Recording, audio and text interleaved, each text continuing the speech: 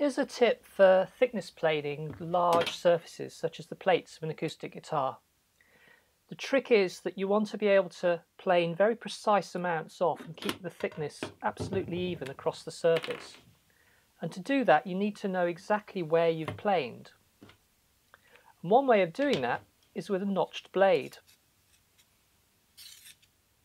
Now what I've done here is I've set the chip breaker a millimetre and a half back from the edge of the blade and marked it with a sharpie in order to give me the depth of the notches.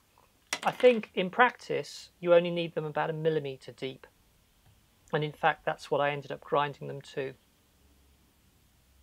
I'm then marking the spacing of the notches at every 5 millimetres.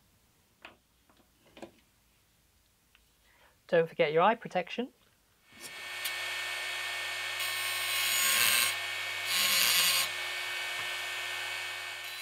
I guess you can use a file if you don't have a mini grinder, but it's not as much fun.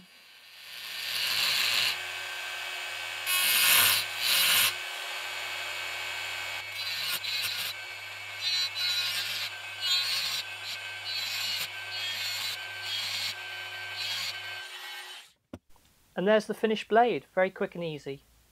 I guess I should have gone back and done a quick sharpening to remove any little bits of burr. And now you can see where you've planed. Once you're happy you've covered the entire surface, you just go back over again with a smooth blade. Of course, in practice, this means you either need two blades, or preferably two planes. I'm demoing here with a piece of pallet wood and I'm planing with the grain. But in practice, you'd be doing a crosshatch pattern. You'd be going 45 degrees to the grain with the notched blade and then crossing that at 90 degrees to get it smooth again. So I hope that helps.